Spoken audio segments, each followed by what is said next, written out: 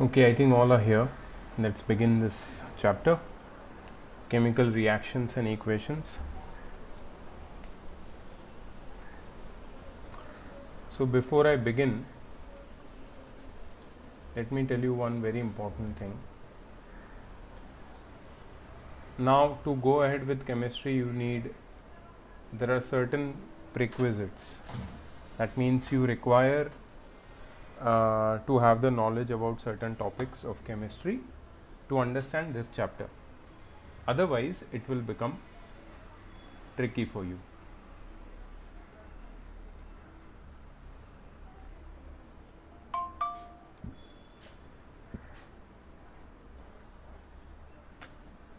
Okay.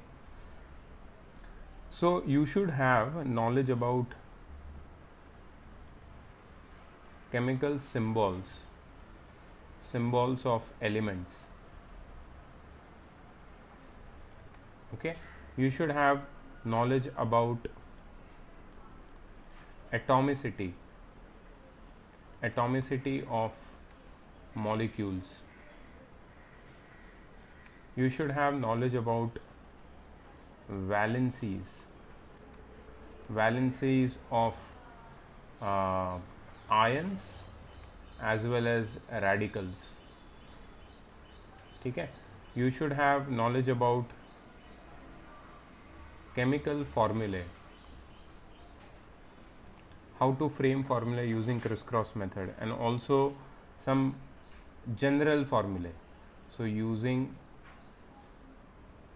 crisscross method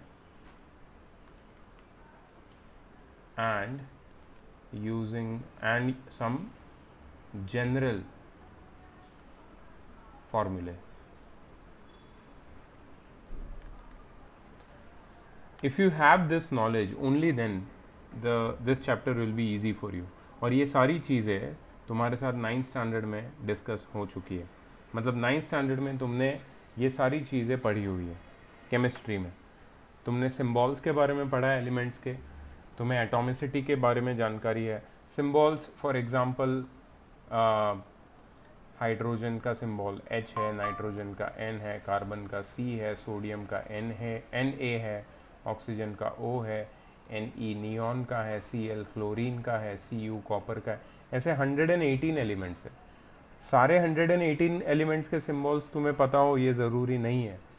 लेकिन इसमें से एटलीस्ट 30 40 सिम्बॉल्स तुम्हें पता होने चाहिए। After that atomicity of molecules जैसे ऑक्सीजन है तो उसको हमेशा रिप्रेजेंट करते हैं ऑक्सीजन मॉलिक्यूल को O2 के फॉर्म में। ठीक है? Hydrogen H2 nitrogen N2 ozone O O3 phosphorus P4 sulphur S8 तो ये जो नीचे सब्सक्रिप्ट में नंबर दिख रहा है ना तुम्हें that is the atomicity atomicity का नॉलेज होना ज़रूरी है। वैलेंसीज पता होनी चाहिए। लास्ट ईयर तुम्हें वैलेंसी का चार्ट था। ठीक है? सोडियम की वैलेंसी थी Na वन प्लस या Na प्लस क्लोरीन की थी Cl माइनस मैग्नीशियम थी, की थी M G two plus aluminium की थी Al थ्री प्लस कॉपर की दो वैलेंसी थी C U one plus and C U two plus ion की भी दो वैलेंसी थी F E two plus F E three plus oxygen थी O two minus carbon C4 minus then there was fluorine one minus ठीक है सो ऐसे बहुत सारी वैलेंसीज थी। वैलेंसी से हम लोग ने आगे अच्छा पॉली एटोमिक आयन्स या रेडिकल्स की भी वैलेंसी हमने पढ़ी है। जैसे S O four two minus O H minus N H four plus ammonium ठीक है? ये वैलेंसीज को यूज़ करके क्रिस क्रॉस मेथड से हमने क्या बनाए थे? केमिकल फॉर्मूले बनाए थे। वी क्रिएटेड केमिकल फॉर्मूले using the criss cross method and valencies और कुछ जनरल फार्मूले जैसे वाटर का फार्मूला एच टू ये हमें याद ही होना चाहिए। Hydrochloric acid H C L carbon dioxide C O two ammonia N H three फिर तुम्हारा मीथेन सी एच फोर ठीक है ये कुछ ऐसे जनरल फार्मूला है ये तुम्हें लर्न होने चाहिए। ये सारी चीज़ें ये बेसिक केमिस्ट्री का नॉलेज है। अगर ये तुम्हारे पास है अच्छे से तो तुम इस चैप्टर में तुम्हें कोई प्रॉब्लम इश्यू नहीं आए। But if you don't have this knowledge then definitely things will be difficult for you this year ठीक है? सो so, मेरा एक ही तुमसे रिक्वेस्ट है कि अगर तुम ये सब भूल चुके हो फिर से जाके इसको रिवाइज करो अच्छे से। ठीक है, इसको रिवाइज करोगे तो बहुत हेल्प मिलेगी तुम्हें इस चैप्टर में। Otherwise you will be half the time you will be confuse कि ये क्या बोल रहे हैं सर ठीक है so I just go quickly through the the content whose video you have already seen and then we can take some questions ठीक है, अभी एकदम से मैं क्वेश्चन नहीं पूछ रहा हूँ। मैं पहले तुम्हें एक ओवरव्यू दे देता हूँ। हमारा चैप्टर का नाम है chemical reactions chemical reactions and chemical equations they both represent a chemical change chemical change में एक ही चीज़ पे हमें फोकस करना है फॉर्मेशन ऑफ़ न्यू सब्सटेंसेस हमेशा याद रखना केमिकल रिएक्शन में कुछ और हो ना हो, लेकिन फॉर्मेशन ऑफ़ न्यू सब्सटेंस हमेशा होता है. Chemical reactions always takes place और always goes ahead with formation of new substances तो केमिकल रिएक्शन का जो definition it say is that a chemical reaction is a process which transforms one और more substances in new substances during chemical reaction new substances with new properties are form ठीक है? Simple एक activity दिया है ये लोगों ने। Lead nitrate solution को पोटेशियम आयोडाइड सोल्यूशन के साथ मिक्स किया है। और जैसे ही तुम मिक्स करते हो तो क्या होता है? एक प्रेसिपिटेट बनता है। ये जो प्रेसिपिटेट है, ये है लेड आयोडाइड का। तो formation of precipitate is you can say indication of formation of a new substance ठीक है? तो जब प्रेसिपिटेट बनता है तो हमें समझ में आता है कि न्यू सब्सटेंस बना है। इसका मतलब क्या है कि केमिकल रिएक्शन हुआ है। वैसे बहुत सारे ऑब्जर्वेशन से हमें समझ में आता है कि केमिकल रिएक्शन होता है। मैग्नीशियम रिबन को बर्न करोगे तो डेजलिंग वाइट लाइट निकलती है। डेजलिंग वाइट लाइट निकल रही है, इसका मतलब क्या है? कि एनर्जी रिलीज़ हो रही है। एनर्जी रिलीज़ हो रही है मतलब केमिकल रिएक्शन हो रहा है। ठीक है? तो एनर्जी रिलीज़ होती है न्यू सब्सटेंस भी बनता है गैस इवॉल्व होता है स्मेल में चेंज आता है। स्मेल में चेंज तो फ़िज़िकल चेंजेस में भी आता है लेकिन केमिकल चेंजेस में भी you can say there are certain odors and smells due to evolution of gas we can observe energy release होती है ये मैंने पहले भी बताया। uh, इसके बाद यू कैन से प्रेसिपिटेट बनता है। सो so, ये सारी चीज़ें हाँ कलर में चेंज होता है कलर चेंजेस ठीक है? तो ये सारी चीज़ें केमिकल रिएक्शन के साथ साथ होती है। इसको हमें डिटेल में स्टडी करना है। जैसे कि यहाँ पे सोडियम कार्बोनेट जो एक सॉल्ट है, उसको अगर हम एसिड में डालेंगे तो बबल्स निकलते हैं। ये जो बबल्स है, वो कार्बन डाइऑक्साइड के बबल्स हैं। ठीक है? ये कार्बन डाइऑक्साइड रिलीज़ हुआ मतलब गैस रिलीज़ हुआ मतलब ये केमिकल चेंज फिर और एक यहाँ पे रिएक्शन दिखाया है जिंक ग्रैन्यूल्स का। जिंक के छोटे छोटे पार्टिकल्स जब एसिड में डालते हैं हम लोग तो बबल्स निकलते हैं। ये बबल्स होते हैं हाइड्रोजन गैस के। ठीक है? सो ये भी एक केमिकल चेंज है। यहाँ पे गैस रिलीज़ हुआ मतलब chemical please on your cam every one cam on चाहिए मुझे। चारुल, चिन्मय, शिखा, सोहम अदिति आदित्य। कैम ऑन रखना है। सोहम कैम ऑन रख। Chinmay cam on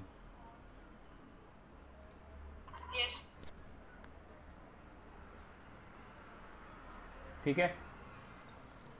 So chemical reactions are the processes in which new substances with new properties are form इसको हम लोग ने चार एग्ज़ाम्पल के साथ अभी स्टडी भी किया कि कैसे न्यू सब्सटेंसेस बनते हैं जिनकी प्रॉपर्टी भी न्यू होती है। इसको मैं एक सिंपल एग्ज़ाम्पल के साथ तुम्हें बताना चाहूँगा। सपोज़ तुम्हारे पास हाइड्रोजन है और तुम्हारे पास ऑक्सीजन है। Yes my voice is breaking for every one please confirm my internet connection is quite strong I have upgraded so may be the problem is from your end and I am recording this lecture so don't worry about it ठीक है? It's okay if your connection has some issues it will improve over a time ठीक है? Let me continue so सब I give you an example of a chemical reaction hydrogen and oxygen they react with each other to form water ठीक है? इसको मैं balance करके लिखता हूँ।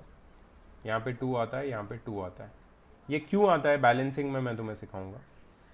अच्छा यहाँ पे मैं तुम्हें बताता हूँ कि कैसे केमिकल रिएक्शन में न्यू सब्सटेंसेस फॉर्म होते हैं, जिसकी प्रॉपर्टी एंटायरली न्यू होती है। ये तुमने क्लास नाइन्थ में भी पढ़ा है, मैं फिर से बताता हूँ।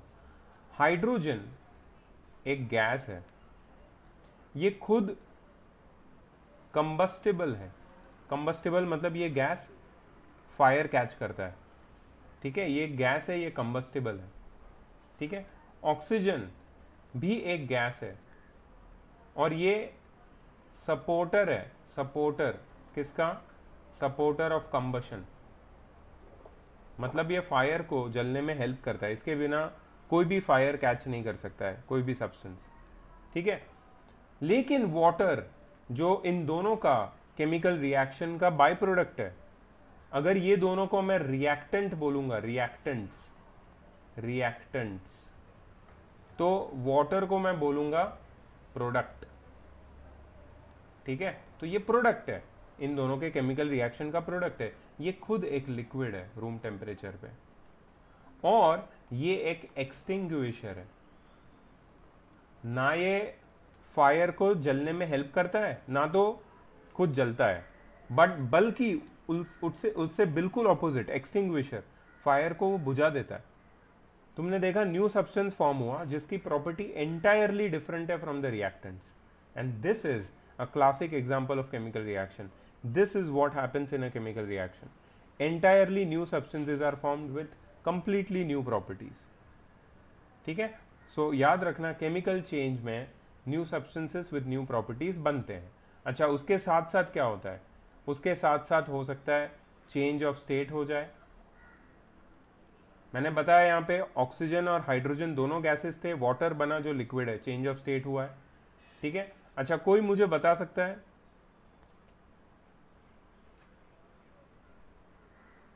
मैं यहाँ पे एक एग्जांपल दे रहा हूँ। कोई मुझे बता सकता है कि burning of candle chemical change है या नहीं है?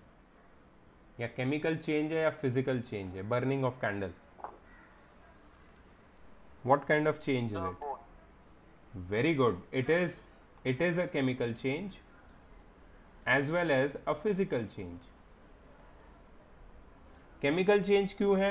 क्योंकि यहाँ पे वैक्स बर्न हो रहा है। और फ़िज़िकल चेंज इसलिए बिकॉज़ यहाँ पे वैक्स मेल्ट भी हो रहा है। ठीक है? तो हम ये बोल सकते हैं कि कभी कभी केमिकल चेंज में फ़िज़िकल चेंज इंक्लूडेड होता है। साथ साथ चलता है उसके। मतलब एक सब्सटेंस मेल्ट होता है ड्यूरिंग अ केमिकल चेंज उसका स्टेट चेंज होता है तो फ़िज़िकल चेंज तो हो ही रहा है, लेकिन केमिकल चेंज भी हो रहा है। So due to chemical change change of state can also occur और फ़िज़िकल चेंजेस लाइक मेल्टिंग और change of state can also be observe change in colour मैंने अभी बताया। वो लेड आयोडाइड वाला एग्ज़ाम्पल जो मैंने ऊपर डिस्कस किया था तुम्हारे साथ। लेड नाइट्रेट सोल्यूशन इस एग्ज़ाम्पल को ना बहुत अच्छे से याद रखना। लेड नाइट्रेट और पोटेशियम आयोडाइड दोनों कलरलेस होते हैं। दे बोथ आर कलरलेस लेकिन दोनों को मिक्स करने पे ये येलो कलर का प्रेसिपिटेट कहाँ से आया? This is indication of formation of lead iodide that is indication of chemical change तो केमिकल चेंज में चेंज ऑफ़ कलर भी होता है। ठीक है? तुमने मेटल्स को देखा होगा आयन के ऑब्जेक्ट्स को। रस्ट पकड़ लेता है। आयन का जो कलर होता है स्टील ग्रे कलर होता है। लेकिन जैसे ही वो रस्ट पकड़ लेता है, रस्ट का कलर रेडिश ब्राउन होता है। कलर चेंज हुआ। क्यों? क्योंकि केमिकल रिएक्शन हुआ। प्रेसिपिटेट का बनना। प्रेसिपिटेट का बनना भी एक इंडिकेशन है कि केमिकल चेंज हुआ है। दो लिक्विड को मिक्स करने से एक सॉलिड अचानक कहाँ से आ जाएगा? ये तभी होगा जब नया सब्सटेंस बनेगा।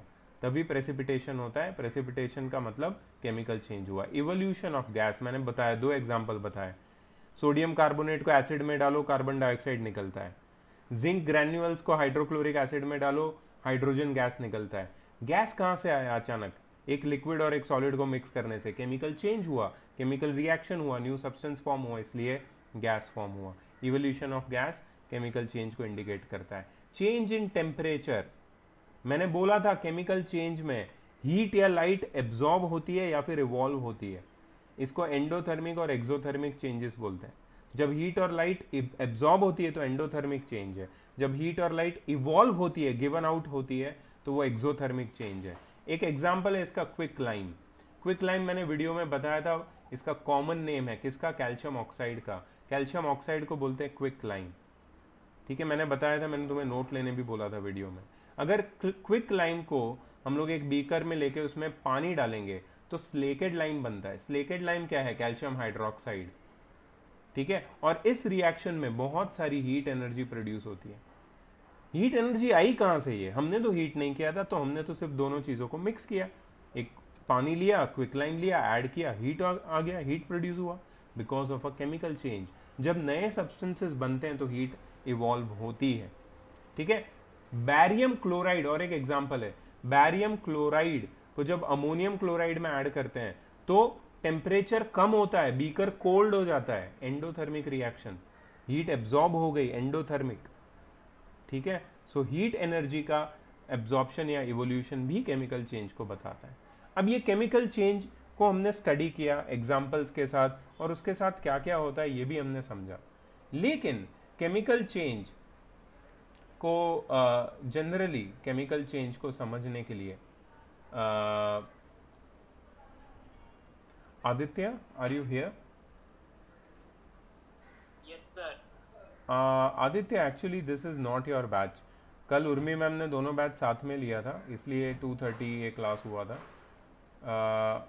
Aditya Singh I am talking to you not Aditya Pawar Aditya Singh not connected with audio yeah he's connected now. Aditya singh can you hear me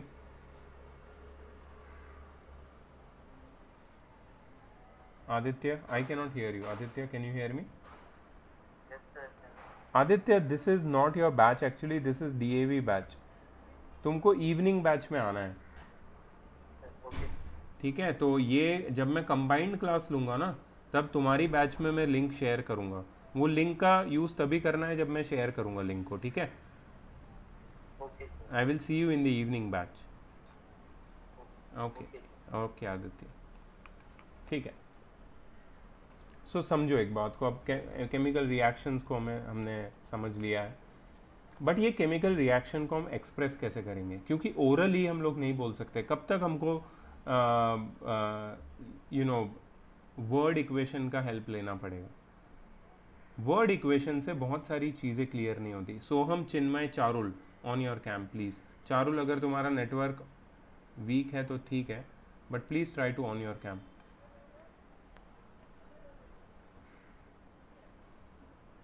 Chinmay please keep your cam on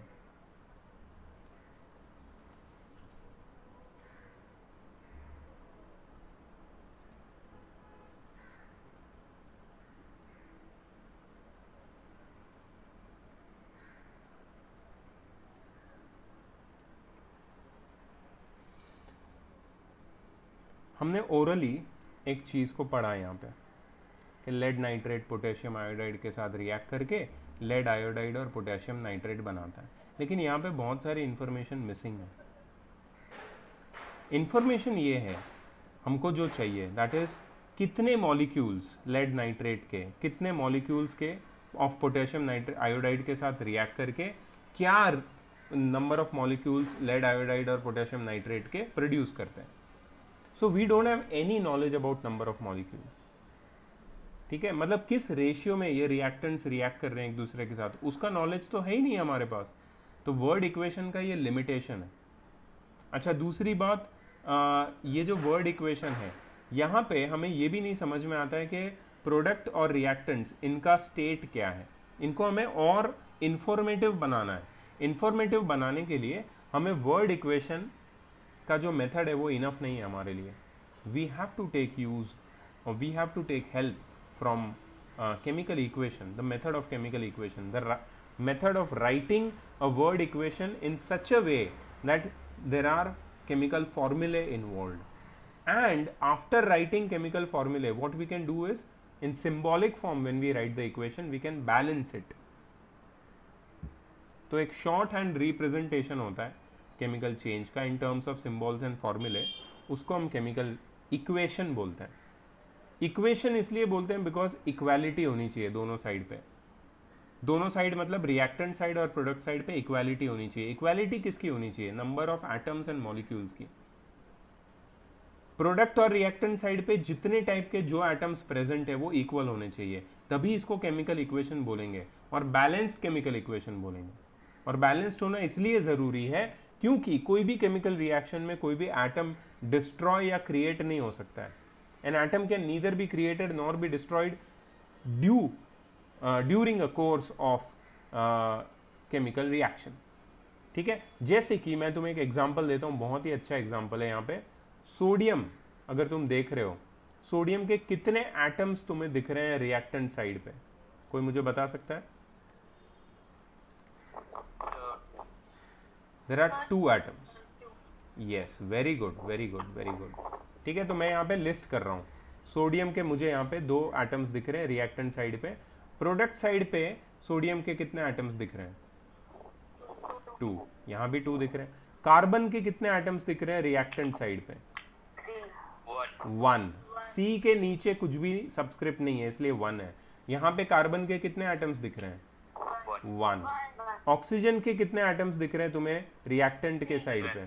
three plus four seven यहाँ पे three है यहाँ पे four है. Add करो उसको कितना आएगा? सेवन ऑक्सीजन के कितने एटम्स दिख रहे हैं मुझे यहाँ पे? ओह so this is unbalanced hydrogen के कितने एटम्स दिख रहे हैं मुझे प्रोडक्ट के साइड रिएक्टेंट के साइड पे आई एम सॉरी टू और यहाँ पे हाइड्रोजन है क्या? ज़ीरो नहीं है यहाँ पे हाइड्रोजन नहीं है. अगर यहाँ पे H2O में लगा दूँ साइड में तो फिर डेफिनेटली हाइड्रोजन आ जाएगा. ठीक है? इसका मतलब है कि यहाँ पे कुछ एटम ऐसा है जिसका अकाउंट नहीं है। मतलब वो एटम कहाँ चला गया? डिस्ट्रॉय हो गया, ऐसा लग रहा है। तो ये बहुत ही गलत है। An atom can neither be created nor be destroyed during a chemical reaction अगर एटम क्रिएट नहीं हो सकता डिस्ट्रॉय नहीं हो सकता, उसके नंबर सेम होने चाहिए। मतलब बैलेंस केमिकल इक्वेशन हमें यह बताता है कि जितने टाइप के, जितने एटम्स रिएक्टेंट के साइड पे थे बिफोर रिएक्शन उतने ही टाइप के वही एटम्स प्रोडक्ट साइड पे भी होंगे आफ्टर द केमिकल रिएक्शन ठीक है? So our whole aim is to balance the chemical equation identify and balance the chemical equation जैसे यहाँ पे रिएक्टेंट है, यहाँ पे प्रोडक्ट है, बीच में एरो की साइन है. एरो मतलब रिएक्शन उस डायरेक्शन में प्रोसीड कर रहा है. एरो के पहले रिएक्टेंट होते हैं एरो के बाद में प्रोडक्ट्स होते हैं. ठीक है? तो कुछ बैलेंस और अनबैलेंस इक्वेशन की हमें प्रैक्टिस करनी पड़ेगी। सबसे पहले बैलेंस्ड इक्वेशन का डेफिनेशन देख लो। A chemical equation which has equal number of atoms of each element in the reactant and products is called balanced equation ये मैंने बताया था वीडियो में। A chemical equation in which number of atoms of each kind are not equal in the reactant and product side is called unbalanced equation it is also known as skeletal equation तो हमें skeletal equation से deal करना है हमें skeletal equation question में देंगे हमें उसको बैलेंस बनाना है बैलेंस करना है हमें ठीक है यहाँ पे कुछ बैलेंस्ड और अनबैलेंस्ड इक्वेशन दिए हैं तो इसमें इसी में से हम लोग कुछ एग्जांपल लेके कुछ इक्वेशंस को बैलेंस कर सकते हैं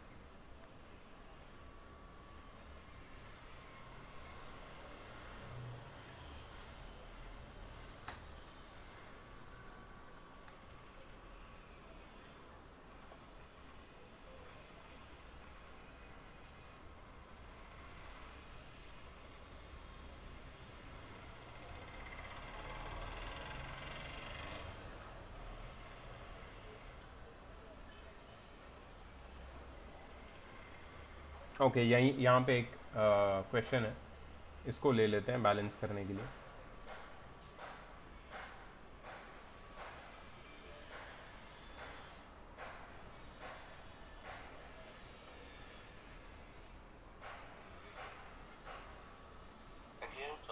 Yes. Sir, when we add water to hydrochloric acid, Yeah. then its chemical composition is not disturbed. No, no. It just becomes dilute. When you No, mix acid with water, it becomes dilute. Reason it? Reason uh, there is no reason. It is a natural process. Hydrochloric acid एक ऐसा compound है जो water के साथ react नहीं करता है water सिर्फ़ उसको डाइल्यूट कर देता है हाइड्रोक्लोरिक एसिड एक कोवेलेंट बॉन्ड है कोवेलेंट कंपाउंड है इसके बारे में तुम शायद पढ़ोगे आगे मेटल्स और नॉन मेटल्स में पढ़ोगे और वाटर भी एक कोवेलेंट कंपाउंड है। दोनों कोवेलेंट कंपाउंड में ऐसे कोई आयंस नहीं है जिसमें आपस में कोई एक्सचेंज हो सके। इसके लिए वो लोग एक्सचेंज नहीं करते आयंस और एज इट इज़ रहते हैं। मतलब वाटर वाटर ही रहता है हाइड्रोक्लोरिक एसिड हाइड्रोक्लोरिक एसिड ही रहता है। और अगर आ, दोनों का केमिकल कॉम्पोजिशन सेम रहता है तो एक ही चीज़ हो सकती है that is a physical change physical change मतलब वो डाइल्यूट हो जाएगा। मतलब उसके केमिकल कॉम्पोजिशन में कोई फ़र्क नहीं पड़ेगा। वो सिर्फ़ एक मिक्सचर हो जाएगा। नॉट अ कंपाउंड ओके चलो. So I want some people to help me in this हम लोग बैलेंसिंग करने वाले बैलेंसिंग केमिकल इक्वेशंस ठीक है? चलो. I first start with Aditi Aditi first वाला देखते हैं.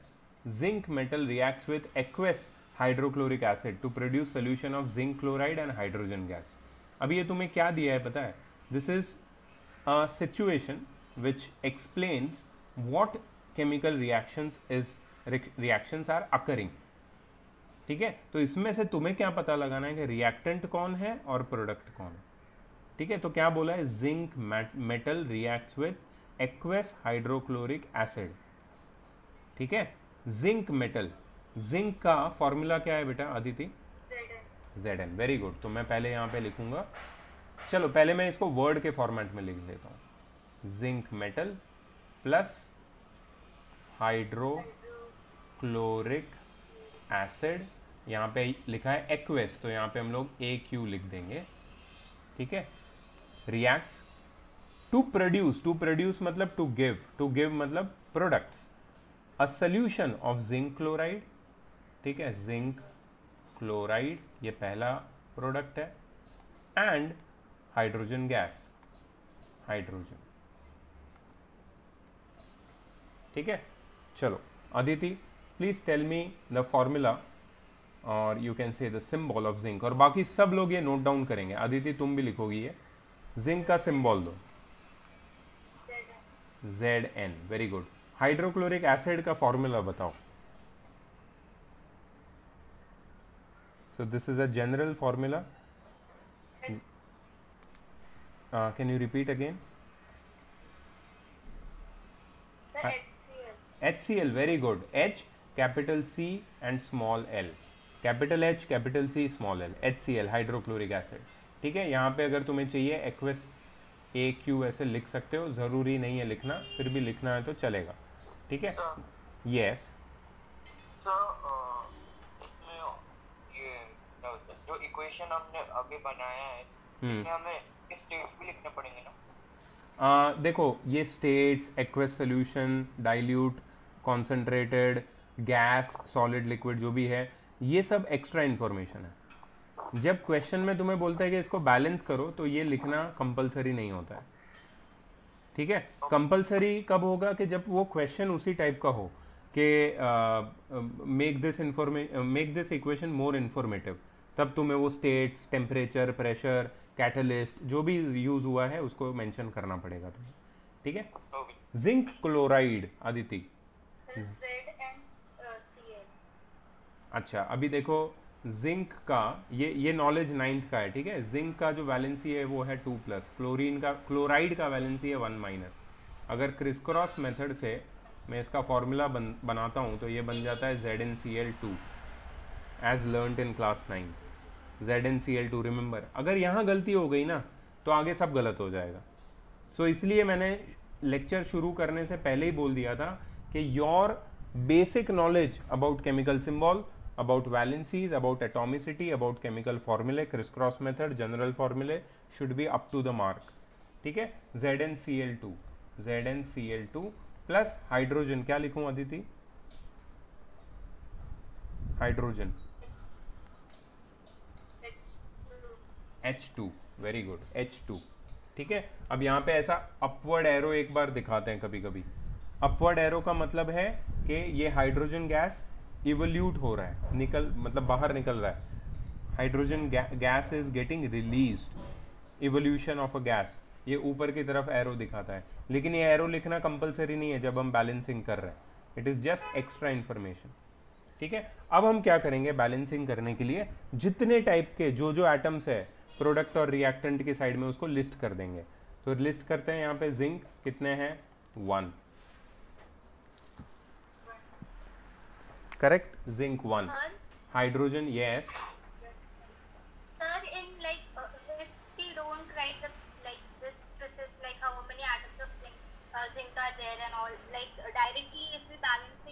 no no no you have to it is compulsory see see in in in future chapters like इसके बाद वाला जो चैप्टर है एसिड बेसिस सॉल्ट्स या फिर उसके बाद जो मेटल्स हैं नॉन मेटल्स हैं उसमें तुम करोगे ना वैसा तो चलेगा मुझे कोई प्रॉब्लम नहीं है।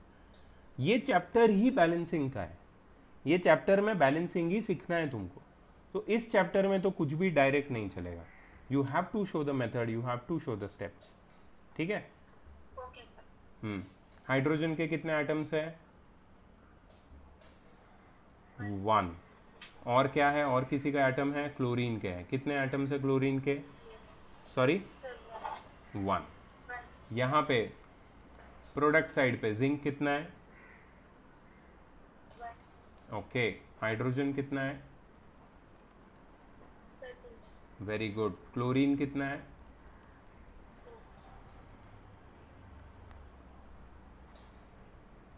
ठीक है? ओके? अब इसको बैलेंस करना है। अब बैलेंस करने के लिए एक चीज़ याद रखना है कि ये जो सब्सक्रिप्ट है सब्सक्रिप्ट मतलब कोई भी फॉर्मूला के नीचे राइट हैंड साइड में लिखे गए नंबर उससे छेड़खानी नहीं करनी है। यहाँ पे कोई नंबर ना तुम लिख सकते हो, ठीक है? ना तो यहाँ पे कोई नंबर हटा सकते हो। You cannot change the subscript number what you have to do is you have to put the number in front in front of the chemical formula. Chemical formula के पहले जो भी नंबर तुम्हें लिखना है तुम लिख सकते हो। ठीक है? अब सबसे पहले किसको बैलेंस करते हैं? मैंने रूल बताया था। Very good very nice Priyansh सबसे पहले ऑक्सीजन बैलेंस होता है फिर हाइड्रोजन फिर नॉन मेटल और फिर मेटल ये जो सीक्वेंस है ये बहुत इंपॉर्टेंट है। बहुत बच्चे ये सीक्वेंस फॉलो नहीं करते और फिर गड़बड़ हो जाती है। यहाँ पे कोई भी ऑक्सीजन नहीं है तो इसमें ऑक्सीजन का तो सवाल नहीं है तो हाइड्रोजन से शुरुआत करेंगे। हाइड्रोजन यहाँ पे प्रोडक्ट साइड में कितने हैं? टू है और रिएक्टेंट साइड में हाइड्रोजन वन है। तो how do I change it. Before H C L H C L के एच के पहले मैं यहाँ पे टू लिख सकता हूँ। वेरी गुड मैंने टू लिख दिया तो ये हाइड्रोजन यहाँ पे कितना हो गया? टू अब ये जो क्लोरीन है इसके भी आगे ऑटोमेटिकली एक नंबर टू आ गया है तो क्लोरीन भी कितना हो जाएगा? टू और देखो ऑटोमेटिकली ये बैलेंस हो गया ऑलरेडी दिस इज़ बैलेंस देखो one two two one two two खत्म. सिर्फ़ एक टू लिखने से. तो किसने हमें बचाया? ये चीज़ ने. Oxygen hydrogen non metal metal यही सीक्वेंस में जाना है. फटाफट बैलेंसिंग होगा तुम्हारा. ठीक है? I hope everybody has noted it down और सबको ये समझ में आया है बैलेंसिंग वेरी गुड या या श्योर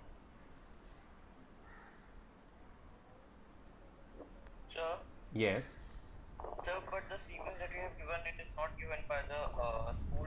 या दे विल नॉट ये मैं जब स्कूल में था ना मैंने भी नहीं सीखा था ये.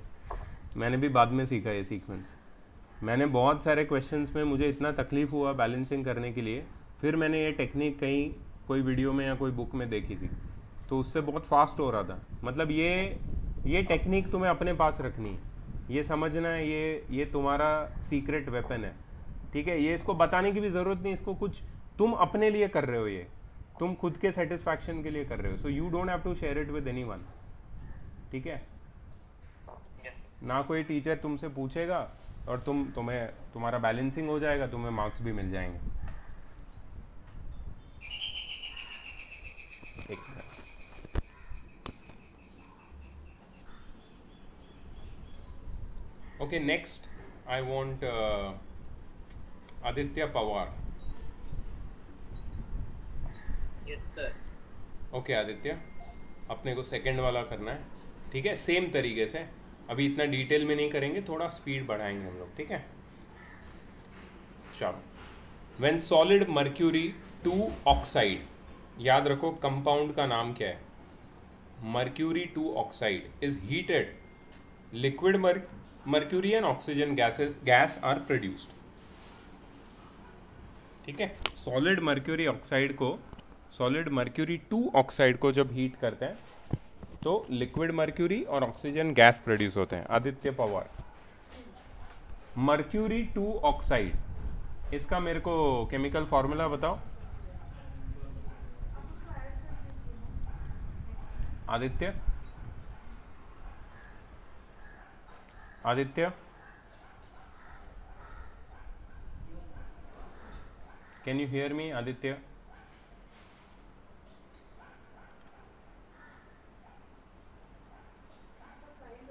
किधर है आदित्य। है ही नहीं। Chinmay? On your on and answer my question please हाँ हाँ। मर्क्यूरी टू ऑक्साइड का मुझे फॉर्मूला बताओ। मर्क्यूरी का पहले तो सिंबल क्या है. बेटा क्लास नाइन्थ में पढ़ा है ये। एच जी टू प्लस क्या है? एच जी टू प्लस ये टू प्लस कैसे आया पता है? यहाँ पे वो लोग ने लिखा है मर्क्यूरी टू ऑक्साइड मतलब मर्क्यूरी की वैलेंसी टू प्लस है. ऑक्सीजन का सिंबल और वैलेंसी बताओ. Sir, oxygen का O2. ओ टू माइनस ठीक है? ये प्लस माइनस का कोई ज़्यादा इंपॉर्टेंस नहीं है. ये सिर्फ़ बताता है कि इलेक्ट्रॉन डोनेट या एक्सेप्ट हो रहा है. मतलब ये मेटल या नॉन मेटल अब क्रॉस क्रिस क्रॉस करेंगे इसको. ठीक है?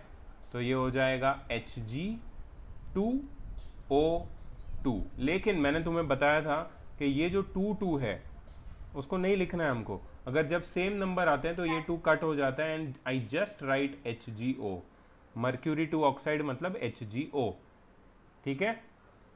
चिन्मय? Yes, चलो आ जाओ। अब mercury two oxide H G O इसको मैं क्या कर रहा हूँ? हीट कर रहा हूँ।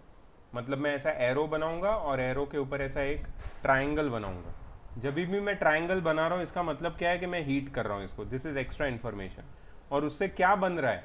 लिक्विड मर्क्यूरी लिक्विड मर्क्यूरी मतलब क्या है? मर्क्यूरी तो लिक्विड ही होता है। लिक्विड मर्क्यूरी का फॉर्मूला क्या होगा?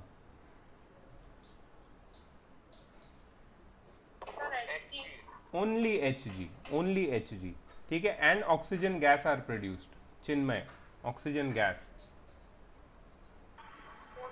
O two correct O two मतलब ये तुम्हारा स्केलेटल इक्वेशन बन गया अब चिन्मय क्या करेंगे नेक्स्ट स्टेप Sir, सारे एटॉम्स को लिख देंगे. ओके तो एच जी मर्क्यूरी एक एटम है यहाँ पे ऑक्सीजन वन एटम है यहाँ पे यहाँ पे एच जी वन एटम है ऑक्सीजन टू एटम्स है ओके okay. अब बैलेंसिंग शुरू करेंगे तो बैलेंसिंग में सबसे पहले किसको बैलेंस करना है Oxygen. ऑक्सीजन। को। तो यहाँ पे O2 है और यहाँ पे O के नीचे कोई भी सब्सक्रिप्ट नहीं है। तो यहाँ पे नीचे मैं टू लिख दूँ? यहाँ पे ऐसे टू लिख दूँ? नहीं sir. हम्म, क्यों नहीं बेटा? के पहले. Very good very good very good don't be confused by me I will try to confuse you H G के पहले लिखना है ओ के नीचे नहीं लिखना कभी भी सब्सक्रिप्ट में चेंजेस नहीं करना है अपने को। ठीक है? सो यहाँ पे टू लिख दिया मैंने। उससे क्या हुआ? ऑक्सीजन तो टू हो गया। मर्क्यूरी भी टू हो गया। अब मर्क्यूरी इम्बैलेंस हो गया। मतलब मर्क्यूरी यहाँ पे दो है यहाँ पे एक है। अब मैं मर्क्यूरी को कैसे बैलेंस करूँगा? Sir, दूसरे साइड भी Hg को 2 लगा दो. एच जी के पहले टू लिख देंगे यहाँ पे आ जाएगा टू और ये हो गया बैलेंस इजी समझ में आया बैलेंसिंग लेकिन उसके लिए क्रूशियल क्या था? ये। ये नहीं पता है तो आगे तुम्हें प्रॉब्लम आएगी। इससे इससे मैं तुम्हें एक ही बात बोलूँगा कि जो तुम्हारा नाइन्थ का बुक है वो थोड़ा सा रिवाइज करो। या फिर मेरे यूट्यूब पे जाओ नाइन्थ के लेक्चर्स है उस पर केमिकल फार्मूले कैसे बनाने हैं उसको थोड़ा स्टडी करो वैलेंसीज लर्न करो। क्योंकि ऐसे क्वेश्चन में तुम्हारे मार्क्स जाएँगे फिर। तो इसके लिए प्रैक्टिस चाहिए बहुत सारी प्रैक्टिस और वैलेंसी को लर्न करना है तुम्हें। कर हाँ क्यों नहीं? मैं करूँगा तुमको। मैं तुमको अलग से करूँगा। मेरे को तुम्हारे पर्सनल व्हाट्सएप से एक बार हेलो भेजना ठीक है? Okay guys so everybody has noted it down सबने नोट कर लिया इसको? ओके ठीक है. चलो नेक्स्ट मैं जाऊँगा किसके पास?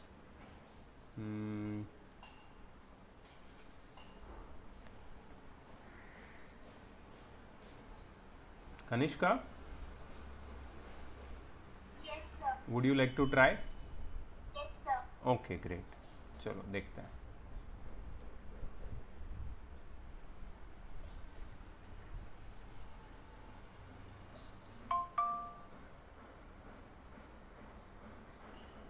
Sorry, sir, I got disconnected. no problem i will give you chance little later okay Okay,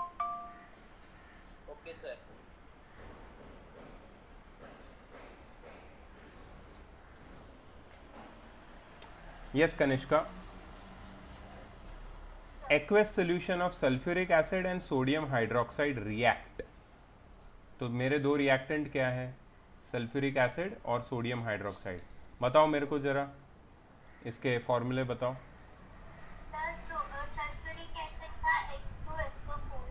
H two S O four very good and sodium hydroxide N A O H very good ठीक है? React to form aqueous solution of sodium sulphate and water sodium sulphate ये तुमने कैसे किया?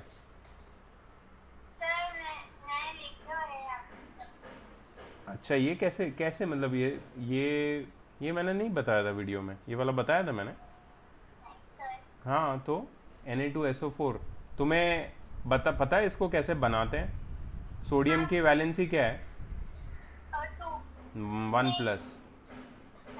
हाँ और sulphate का formula क्या है? एस ओ फोर और वैलेंसी कितनी है? Two minus.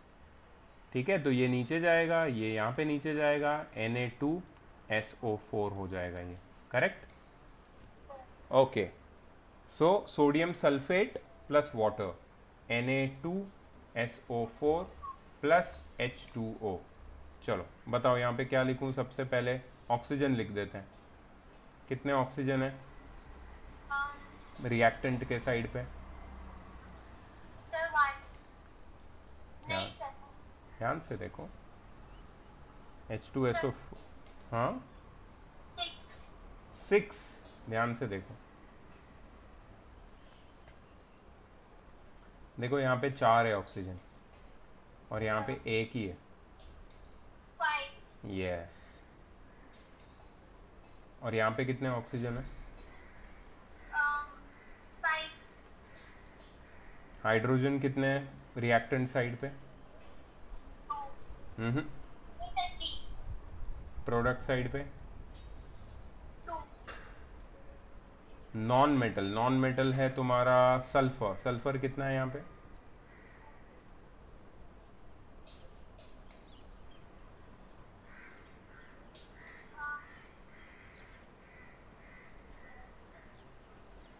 वन एक ही है ना सल्फ़र इधर? सर वन हाँ यहाँ पे कितने सल्फ़र है? और एक मेटल बचा है सोडियम कितने सोडियम है? और यहाँ पे? सबसे पहले किसको बैलेंस करते हैं? वो तो बैलेंस्ड है। उसके बाद किसकी बारी आती है? हाइड्रोजन हाइड्रोजन को कैसे बैलेंस करेंगे?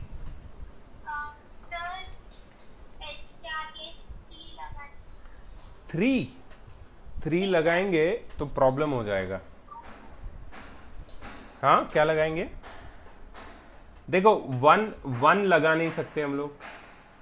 क्योंकि वन तो होता ही है ऑलरेडी वन नहीं लगाना है। वन से बड़ा नंबर क्या है? हाँ तो टू से शुरू करना है। ठीक है? कोई प्रॉब्लम नहीं है। टू लगाओ यहाँ पे। मैं रेड से लिखता हूँ। टू ठीक है? टू लगा दिया। यहाँ पे हाइड्रोजन कितने हो गए? प्रोडक्ट साइड पे। हे प्रोडक्ट साइड पे। कितना हो गया?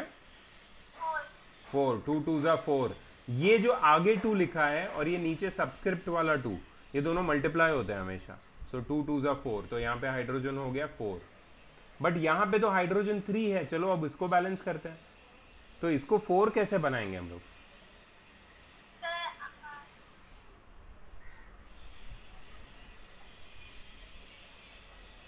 इधर टू डाल सकते हैं ना हम लोग।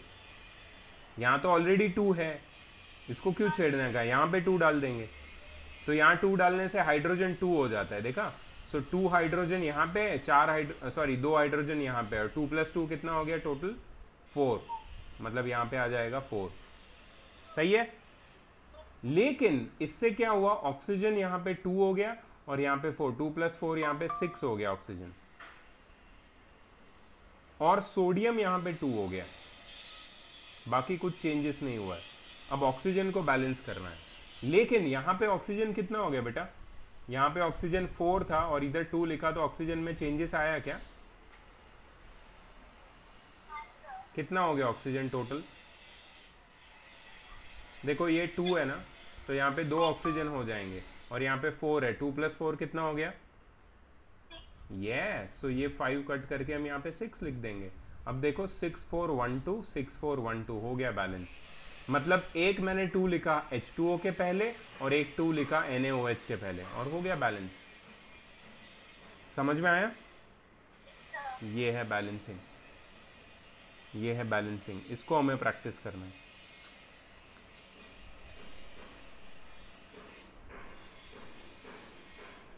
प्लीज़ नोट कर लो इसको सब लोग।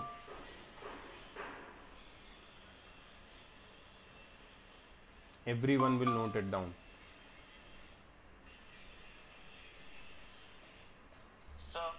yes लेकिन इसमें हमने फाइव लिखा है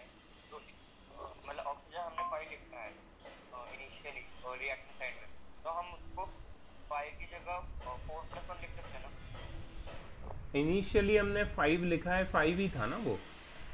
देखो ना हाँ, यहाँ। हाँ फोर प्लस वन मतलब? अच्छा अलग अलग हाँ सर नहीं।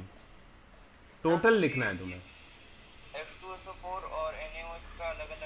अलग अलग अलग अलग का कोई मैटर नहीं करता। रिएक्टेंट्स में जितने टोटल एलिमेंट्स है उनको एक साथ लिखना है।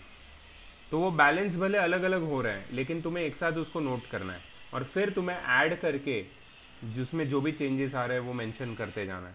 और वो in the end after doing every all the changes they should become equal ठीक है? So two plus three I am और four plus one I am not sure how much correct is it means ये वो method नहीं होती है यही generally follow करता है।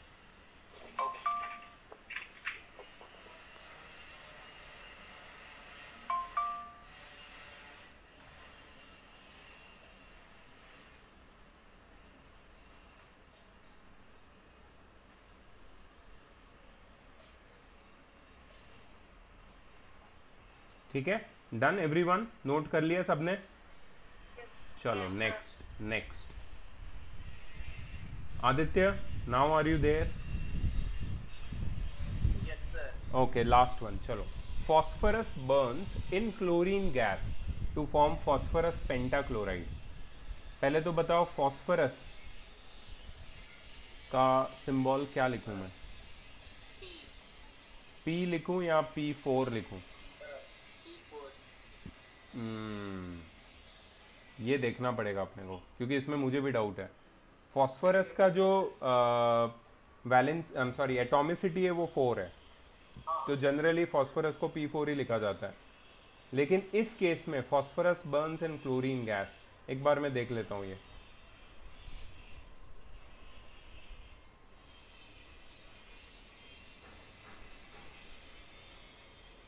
पी फोर है। You are right I am right you are right every one is right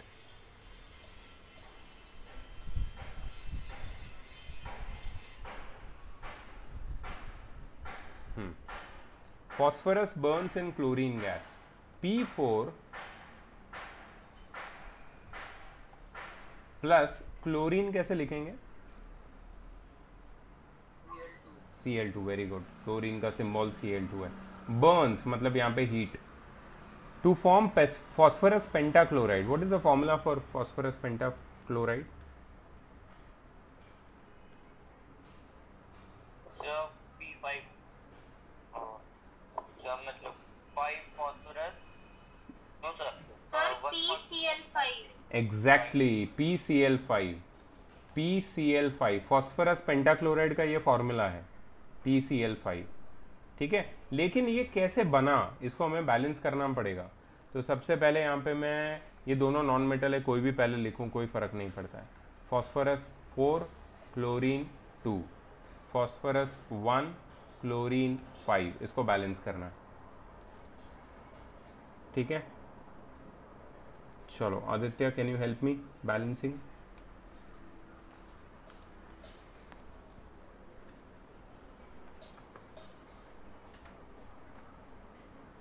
Four P four. Sorry Four P four. In the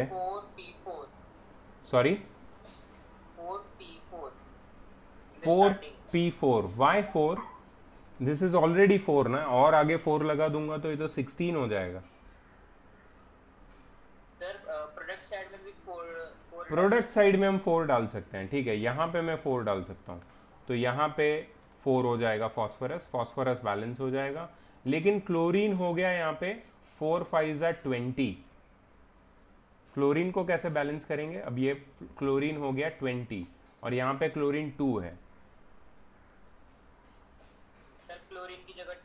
very good chlorine के आगे टेन लिख देंगे। सो टेन टू ज़ा twenty and four five ज़ा twenty दोनों balance हो गया। P four plus ten C L two is equal to four P C L five check करें एक बार चेक कर लेते हैं चलो। P four plus ten C L two gives two P C L five हमने फोर लिखा था ना ये टू कैसे आया? फोर ही है ये गलत है। इनकी गलती है। एक्चुअली फोर होना चाहिए क्योंकि फोर फाइव ज़ा ट्वेंटी होता है और four P four P four balance हो जाएगा। So four is correct I can vouch for that ठीक है? Now I am going to give you few uh, ideas regarding how to make the chemical equation more informative chemical equations को और ज़्यादा informative कैसे बना सकते हैं हम लोग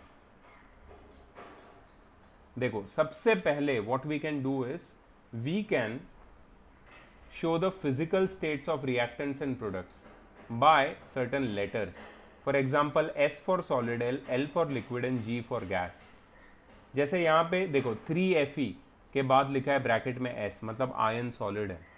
फोर एच टू ओ ये स्टीम है। ठीक है? मतलब ये गैशियस होगा। Gives F E three O four S F E three O four है आयन ऑक्साइड वो हमेशा सॉलिड होता है। And plus four H two मतलब हाइड्रोजन गैस रिलीज़ होता है विच इज़ अ गैस वैसे ही जिंक के आगे solid H two S O four एक एसिड है, ये लिक्विड फॉर्म में होता है, और ये डाइल्यूट होगा तो इसके आगे ए क्यू लिख सकते हैं aqueous solution aqueous solution is any solution win of any substance in water फिर it gives zinc sulphate in aqueous solution form plus hydrogen gas which is जी मतलब गैस है तो आगे अपवर्ड एरो भी दिखा सकते हो तुम ठीक है usually physical states are not in, included in chemical equations unless it is necessary to specify them मतलब सिर्फ़ तुम्हें जब बोला गया है कि इस इंफॉर्मेशन को, इस केमिकल इक्वेशन को और इन्फॉर्मेटिव बनाओ, तभी तुम फ़िज़िकल स्टेट्स को इंक्लूड करो, वरना मत करो, ठीक है? वरना ज़रूरत नहीं है। ओके गैस जब रिलीज़ होता है तो अपवर्ड एरो बताते हैं और जब प्रेसिपिटेट बनता है, कोई कलर्ड प्रेसिपिटेट या कलरलेस प्रेसिपिटेट कोई सॉलिड फॉर्मेशन होता है टेस्ट ट्यूब में नीचे तो डाउनवर्ड एरो से हम लोग बताते हैं, ठीक है? जैसे कि लिबरेशन ऑफ़ हाइड्रोजन गैस के आगे मैंने अपवर्ड एरो लिख दिया। लेकिन यहाँ पे P B I two lead iodide बन रहा है। वो येलो कलर का प्रेसिपिटेट बन रहा था ना तो हम लोग डाउनवर्ड एरो दिखाएँगे।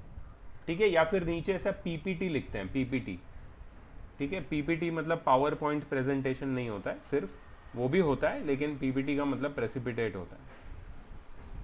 केमिस्ट्री में पीपीटी मतलब प्रेसिपिटेट अच्छा रिवर्सिबल रिएक्शंस है।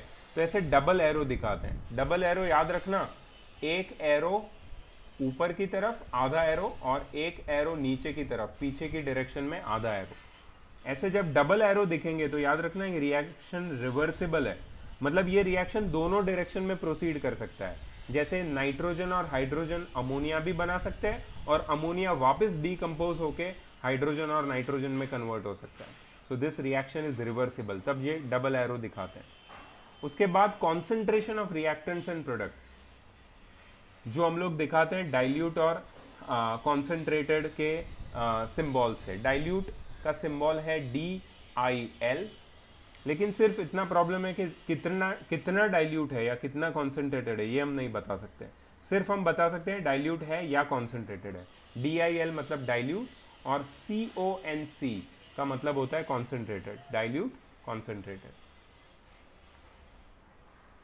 उसके बाद कंडीशंस ऑफ़ रिएक्शन जैसे कि टेम्परेचर प्रेशर कैटलिस्ट ये भी हम लोग केमिकल रिएक्शन में दिखा सकते हैं। जैसे अगर हम हीट दे रहे हैं तो मैंने बताया था कि एरो के ऊपर ऐसा ऐसा ट्राइंगल बनाते हैं। उसको हम हीट भी बोलते हैं बहुत बार ठीक है?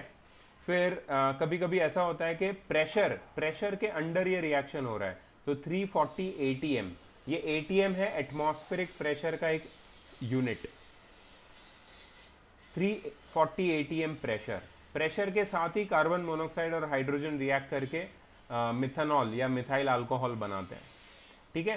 फिर कभी कभी सनलाइट के बिना रिएक्शन नहीं होता। जैसे कि तुम्हारा आ, आ, ये फोटोसिंथेसिस फोटोसिंथेसिस में सनलाइट के बिना रिएक्शन आगे नहीं बढ़ेगा। तो सनलाइट भी एक ज़रूरी है। साथ साथ में नीचे एरो के नीचे लिखा है क्लोरोफिल तो दीज आर कैटलिस्ट और these are the conditions which are absolutely necessary for the reactions to proceed further इनको भी हम दिखा सकते हैं। रिएक्शन को और ज़्यादा यू कैन से इंफॉर्मेटिव बनाने के लिए। वैसे कैटलिस्ट का तुम्हें और भी uh, एक मीनिंग बता देता हूँ क्योंकि ये तुम्हें आगे भी कैटलिस्ट आता रहेगा। कैटलिस्ट एक ऐसा सब्सटेंस होता है which alters the rate of reaction alters the rate of reaction मतलब ये रिएक्शन को फास्टर या स्लोअर कर देता है। कभी कभी ऐसा ज़रूरत पड़ता है केमिकल चेंजेस में लेबोरेटरीज में कि हमें रिएक्शन जल्दी ख़त्म करना है। ठीक है? रिएक्शन को जल्दी करने के लिए हम लोग क्या करते हैं? कैटलिस्ट का यूज़ करते हैं। ठीक है? कैटलिस्ट का यूज़ करते हैं। और कैटलिस्ट रिएक्शन को फास्टर कर सकता है। कभी कभी कोई रिएक्शन बहुत ज़्यादा एक्सप्लोजिव होता है। तो एक्सप्लोजिव रिएक्शन को स्लो डाउन करना पड़ता है। उसके लिए भी कैटलिस्ट आता है। ठीक है? Yes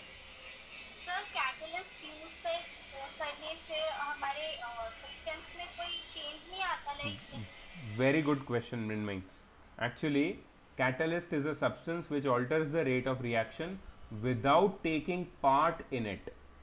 ये इसका पूरा डेफिनेशन है। तो कैटलिस्ट एक ऐसा मैजिकल सब्सटेंस है जो रिएक्शन में पार्ट नहीं लेता।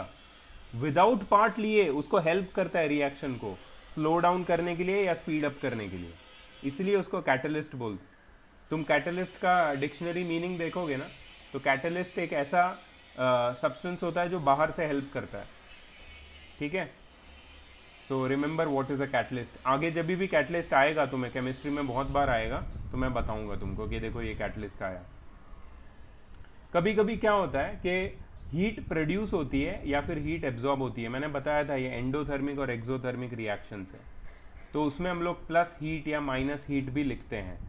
ये दिखाने के लिए कि हीट प्रोड्यूस हो रही है। ये जो हीट है ना, उसको कभी, हम, मैंने पहले भी बताया था कि प्लस ट्राइंगल या माइनस ट्राइंगल ऐसे भी लिखा जाता है। प्लस ट्राइंगल मतलब हीट प्रोड्यूस हुई है। माइनस ट्राइंगल मतलब हीट एब्जॉर्ब हुई है।